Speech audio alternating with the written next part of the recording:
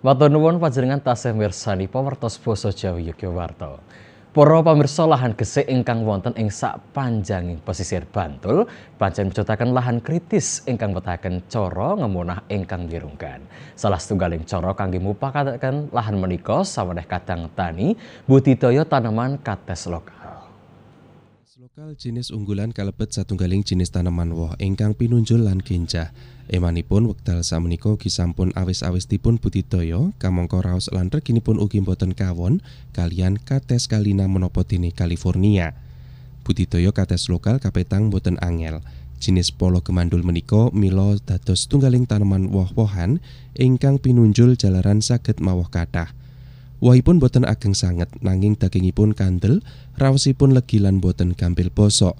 Inggih amargi pawadan menika sawane kadang tani lahan gesik nindakaken budidaya tanaman woh kates ing lahan kirang subur nanging sampun dipun kemonah dados lahan ingkang cumawis dipun tanemi hortikultura.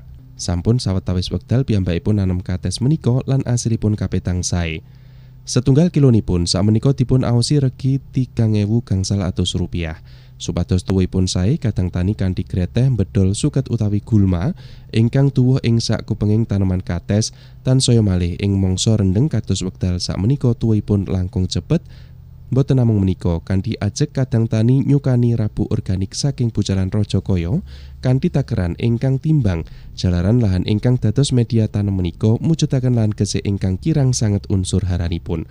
Sakit kawuningan nanam kates menika pancen kapetang gampil-gampil angel, jalaran kathah ugi omo sesaketipun lan kalebet taneman ingkang ringkih.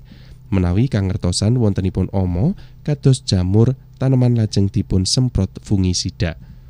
Mekaten palapuranipun Adi Nugroho lan Wendy Wicaksono.